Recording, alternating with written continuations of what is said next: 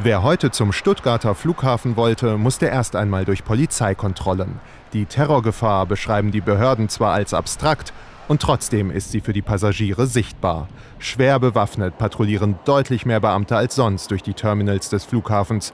Eine Vorsichtsmaßnahme, so der Innenminister von Baden-Württemberg. In den letzten Tagen haben wir verschiedene Hinweise bekommen und unsere Sicherheitsbehörden werten diese Hinweise dahingehend aus, dass es zu Ausspähungen an Flughäfen, auch in Baden-Württemberg, äh, gekommen ist, obwohl es keine Hinweise für eine konkrete Gefährdungslage gibt.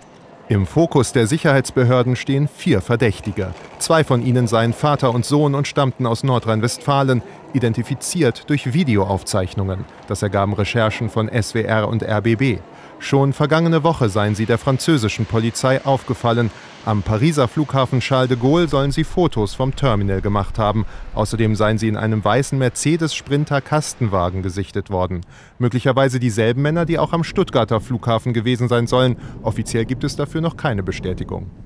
Sie können sich vorstellen, da laufen umfangreiche Ermittlungen und aus taktischen Gründen wäre es natürlich falsch, Details zu diesem Zeitpunkt an die Öffentlichkeit zu tragen. Der Hinweis soll von marokkanischen Behörden gekommen sein. Der Flugbetrieb in Stuttgart lief heute zwar ganz normal weiter, die Bundespolizei hat aber sämtliche deutsche Verkehrsflughäfen sensibilisiert.